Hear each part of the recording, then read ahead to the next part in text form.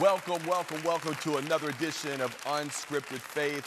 I'm Jay Anthony Gilbert alongside here with Angela Madden. Listen, we've got a fantastic show for you. We're so excited. Listen, it's another ladies' day today. It sure is. But Yeah. before we even go there, Pastor Jay, you were just away for the walk. How I was. it? I was. It was outstanding. The March for Life in Harrisburg. That's where I was at, y'all. I didn't get a chance to make it here the last couple of days, but it was outstanding. Thousands of people coming together to stand for life, to march for life. And what was really unique is that all the senators and representatives that were there, they're not in session. But they Come all on. came in the middle of the rain and the Come cold on. to stand for life. And it's such an honor to be a That's part of that. It was just great.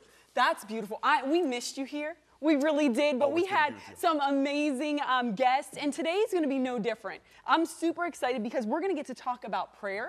We know, Lord knows, honey, we need prayer in this hour and always need prayer. Um, and we're going to get an opportunity also to sit down with one of my dear friends. Come on, somebody. Yes, I'm excited. Today's going to be a ladies' day, but Jay, you're going to get in too. I'm gonna be all right. I'm gonna be all right. I'm all about being around the ladies and hanging out and having a great time. But you know what? Did you know that prayer is so powerful that it can create a ripple effect, not only in your life, but others in the world as well? Our guest speaker and author and faith fuel transformation coach, Kelley Tyan, knows all about the power of prayer. Hallelujah. She's actually living proof that prayer works and God still performs miracles. Kelley, welcome to Unscripted Faith. Thank you so much. I'm so excited to be here. Yes, we're glad to have you. And we love your accent, hailing all the way from Boston. Boston. I do pack the car. Yes, you I'm not gonna lie, I do. hey, my sister in law is from Boston, and every once in a while I'll be talking with her, and that accent will slip out as well. And so, I've tried to work on it. No, it's stay not with it. happening. It's all good. Yeah, No, that's right. It's not happening. We Yeah. like it. I went to Boston College, so I feel at home here. Well, as a speaker, sometimes I'm trying to say speaker. It Yes. just doesn't sound right. I'm a speaker. That's exactly right. Well, Kelley, we're excited to have you on, and we want to hear a little bit of your story because your upbringing has really shaped who you are and speaks to what you're doing today with the power of prayer. So, can you share just a snippet of your story? Sure. So I grew up an only child, two of the most amazing, loving parents a girl could ever ask for. Mm. And my mom was just a blessing in my life. Every day she was praying and loved mm. Jesus so much. And it just, she just modeled that in my home. So that's all I knew. However, she had rheumatoid arthritis, mm. which was the worst kind and worst case a person could actually go through. Her mm. hands, her feet, every joint in her body was just crippled, mm. swollen, lots of pain. However, mm. her faith was, it just was something I never experienced. I never saw anybody have this kind of faith. And it got her up in the morning. She never sat home. She never whimpered and cried and complained. She just knew I can do this with Jesus. And that's how she walked and that's how she lived every day. And I was really in awe as a little girl growing up seeing a mom eh, wondering how she how is she doing this? I'd question it. Wow. But as I became an adult and went through some things in my life, I just realized I need her kind of faith. And how do I get that? I want what she has because I saw her experience the power of Jesus in her life and you know, getting her up in the morning and just getting through her days. But I had to learn how to get that power myself. So her prayers really, it started in the home as her praying over me, mm. but then me saying, I have to really start praying in a new way so I can feel that peace that no matter what I'm going through, Mm-hmm. I can still get up another day, be resilient, bounce back. And that's mm. how it really it did. It shaped my life because today just the things I'm doing for women and helping women. I want them to see the same Jesus that I experienced as a little girl and how he's there for us to give us that comfort and peace Yes. through everything we go through. Yes. Well, it sounds like your mother really helped you to develop an appreciation for prayer. Mm-hmm. How has your prayer life, because I mean, you're a woman that's not a stranger to adversity. Mm-hmm. How has mm-hmm. prayer fueled your life? in so many ways. I, I going through cancer was mm. um, one of my rock bottom moments, and I realized going through cancer it can be very scary, of course. I mean, it's it's almost shocking to your system. And I don't know what I would do if I didn't have prayer. I don't know what people do in the middle of the night when fear comes in and grips me. It, it was almost choking me certain nights. And I would just go to prayer. And it's almost instant, it just calms my spirit, calms my heart from racing.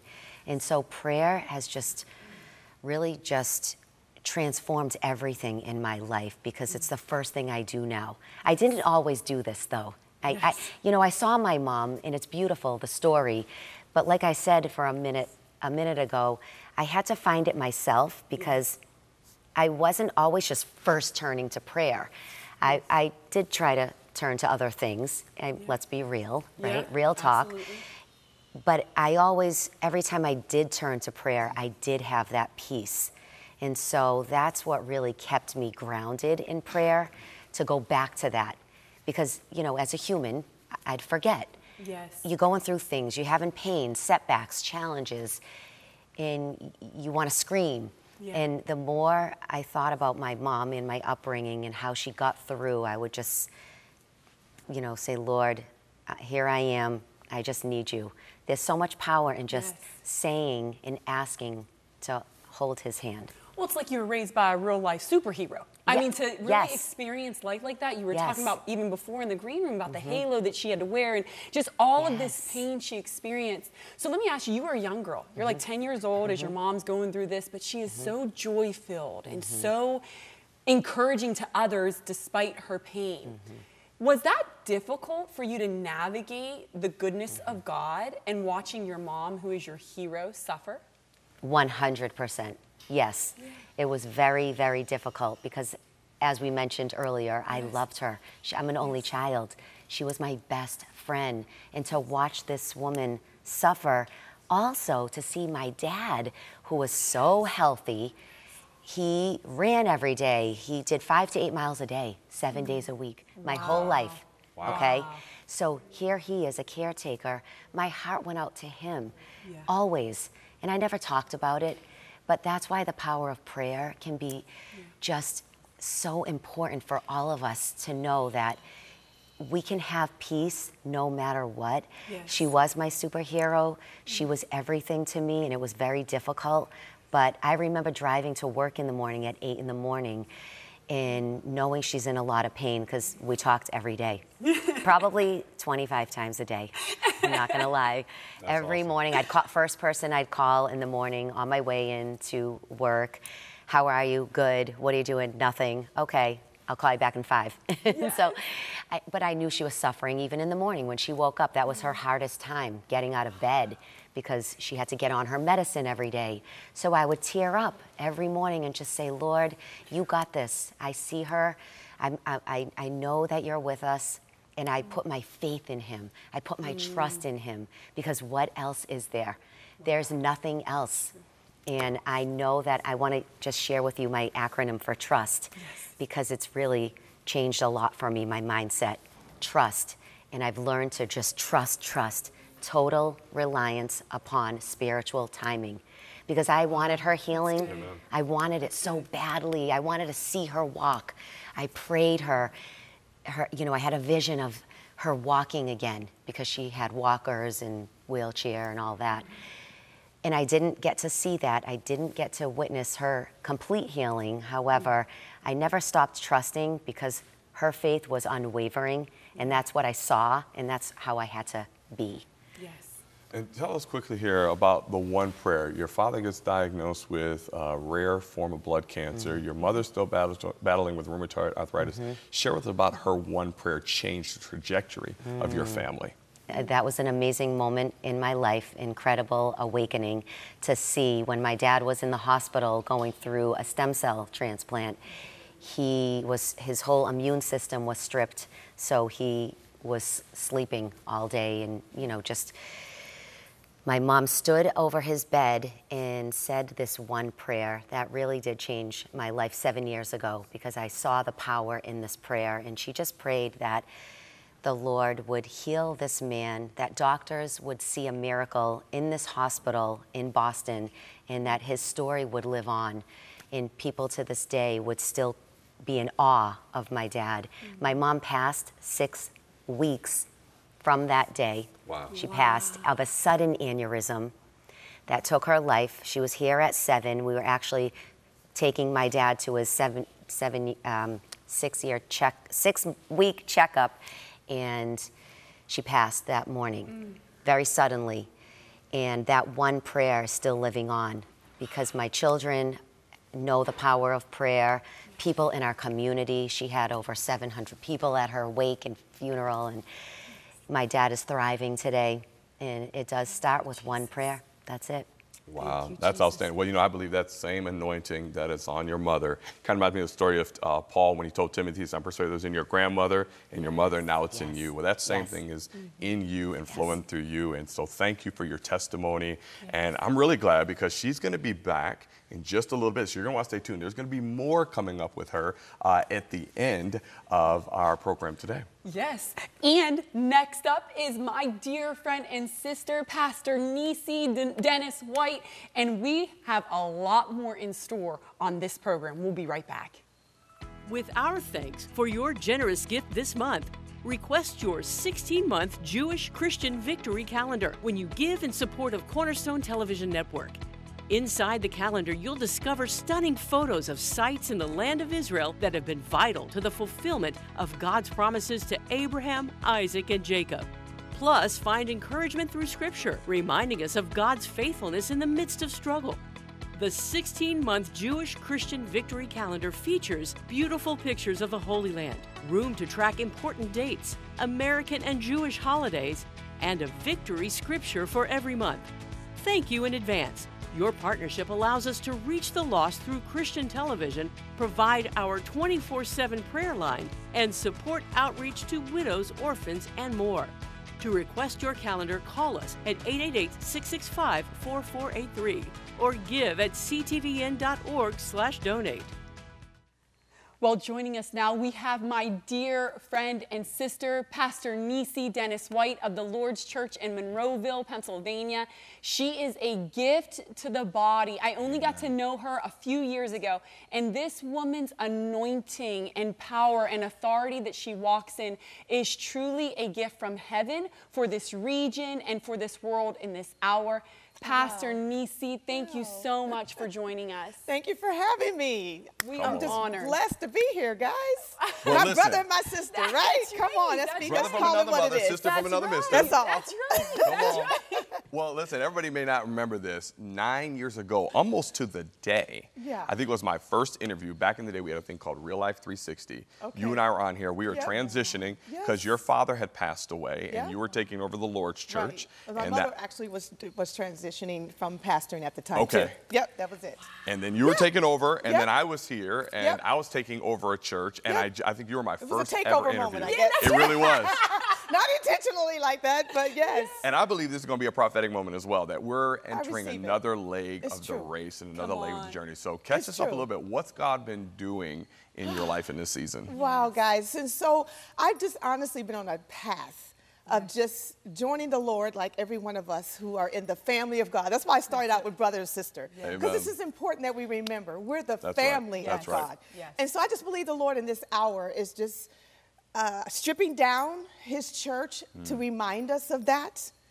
That despite how we grew up in ministry, despite the denomination that we are associated with, despite any political divide that's been happening in our country, Yeah. God is coming for one church. That's right. And He's designing, I think, the systems and the changes that we see individually, corporately, you know, in any other way to remind us of that indeed. He's coming for his one church. We are the bride of Christ. That's Yes. right. We are the body of Yes. Christ.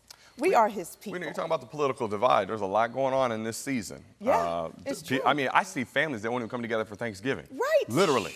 Yeah, Because yeah. of that, or I mean, back in the day with COVID, I mean, so many things that divide us. It's true. You do a thing called Pittsburgh Friends. Exactly, How? yeah. What? Explain to the people and tell us about what exactly does that uh, give Pittsburgh and the pastors in the area? Yeah, so our, our, our prior guest here, Kelley, was sharing an acronym, so I'm, I'm now with an acronym. Come on. Junkie You are in the here, queen right? of those, well, by I the won't say. I'm the queen, the but queen. she mentioned an acronym, and so Pittsburgh Friends, Friends, First Responders.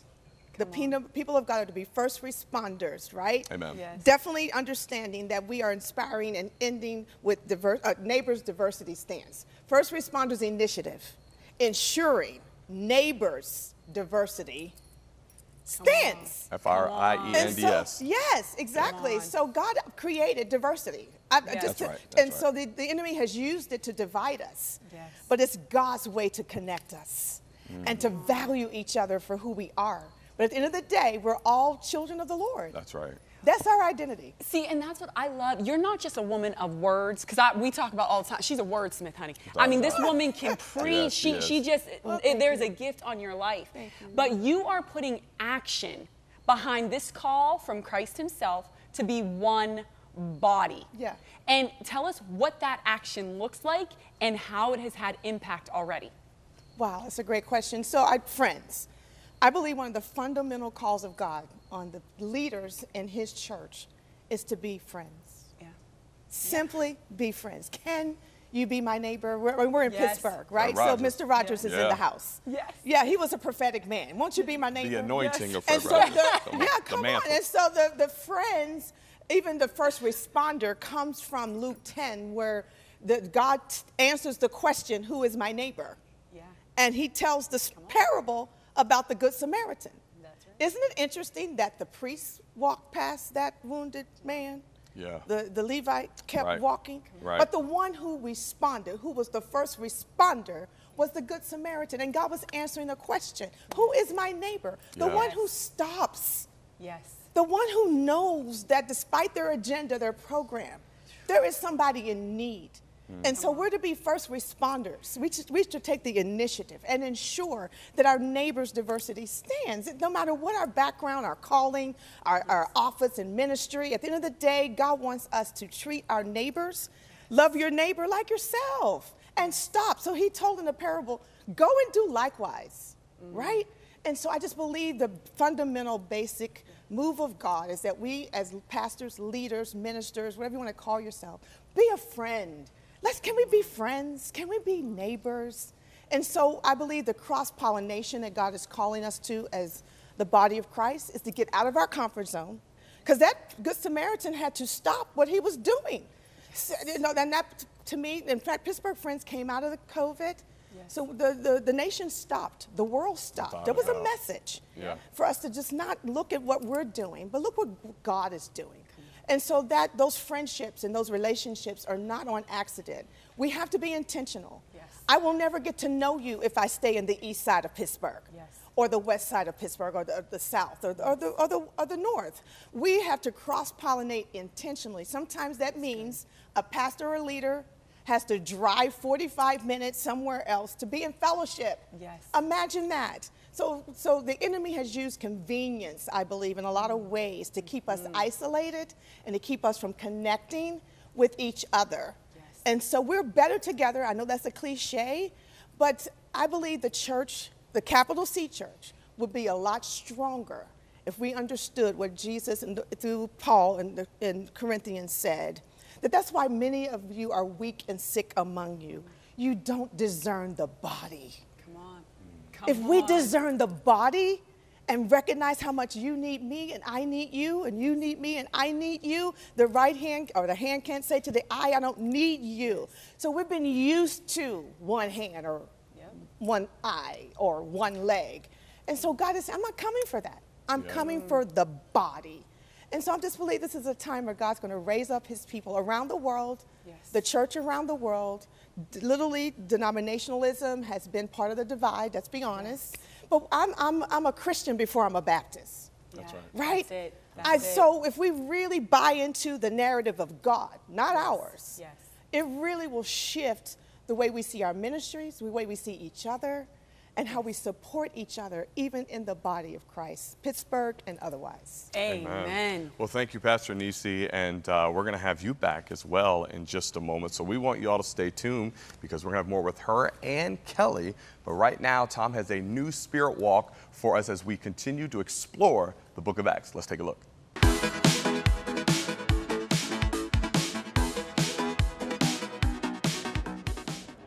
So we're here at his place in Monessen, one of my favorite places, great coffee shop. You should stop by sometime. But we're talking about the book of Acts and we're talking about the Spirit and what was the success of the early Christians? What was the key to their early success of that church that was just founded and so many were being added day by day? Well, first, let me tell you a little story.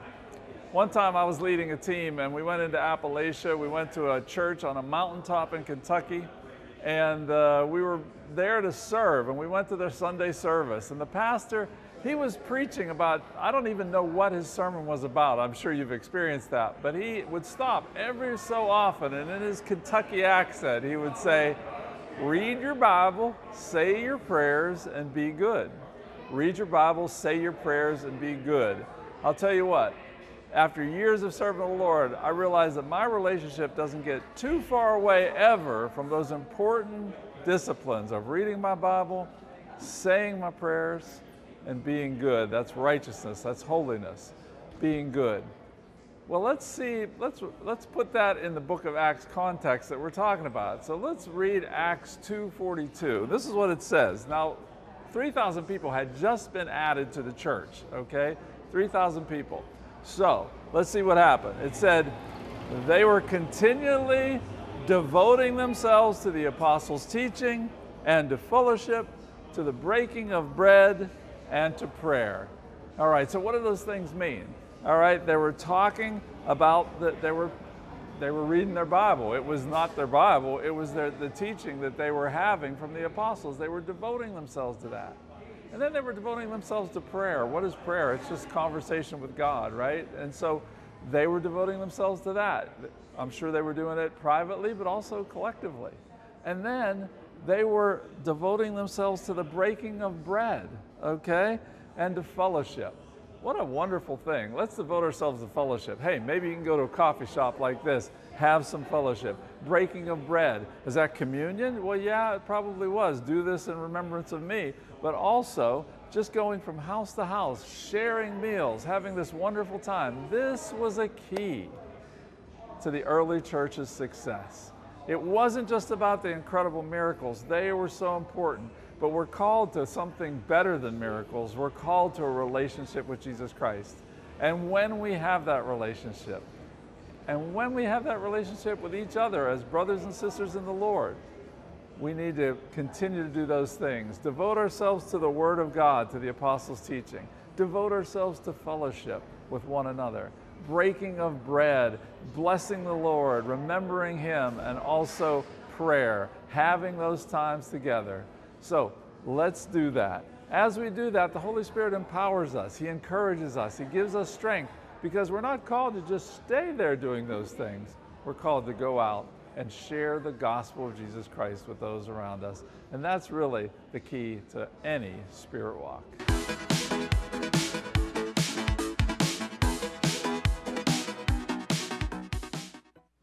What a great segment there. And you know, we're back here on the set with Kelley and Pastor Niecy, and we're talking about prayer and fellowship and how important that really is. You know, Pastor Niecy, I know prayer is very important to you, and you've got a book coming out kind of intertwining prayer and fellowship and pastoralship yeah, and all that. Yeah, yeah, thank you. Yeah, it's called Our Body Language. I was talking about the body of Christ, and we have a language, and it speaks loud either is connecting us or dividing us. And we know the Spirit of God that was just talked about in the upper room yes. connects us. They were in Amen. one place, in Amen. one accord, right? Mm-hmm. And so, yeah, the book is coming out. It will be out next month, October. So here we are. Very I'm excited good. about it. It's, again, our body language, exploring the principles on the path to one church. Let's go. Amen, Let's amen. go. Yeah. We need that. Yes. We need that. And we've got two powerful women who are doing that, bringing this message of prayer and unity. I know Kelley, you as well, with your yeah. book, the um, the one prayer, the one body. Let's get Come it. On now. Come on. Well, that Come just on. spoke. That's right. That's right. That's Let it. me ask you, how do you ladies stay consistent in prayer? And how do you teach women to stay consistent in prayer? Through my book is yeah. one way. the one prayer is set up as it really, I, I wrote the book to keep myself intentional and focused yes. on prayer and consistent because I found myself scattered somewhat in my prayer life. Yes. I'm human. And, Yeah. you know, so I, I, I wrote the book and set it up for a 52 week vision board to cast my prayers, my visions, and stay consistent every week and write down the names of people I'm praying for. I think that is very important.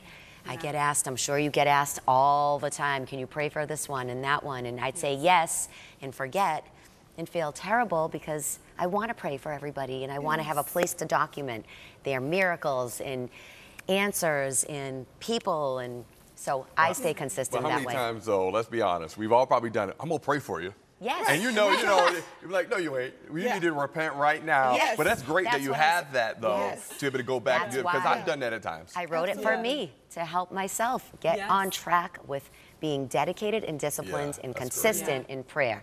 And now it's helping everyone else. I love Yeah, that. yeah. yeah.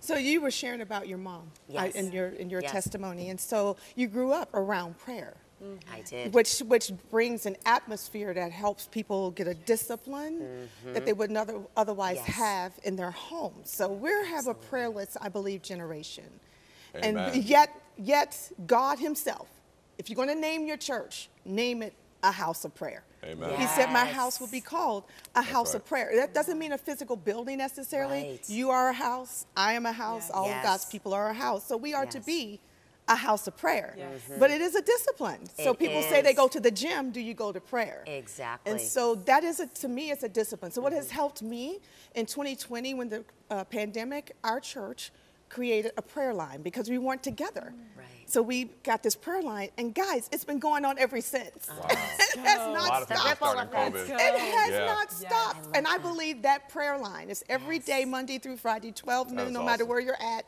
The men pray on Monday nights.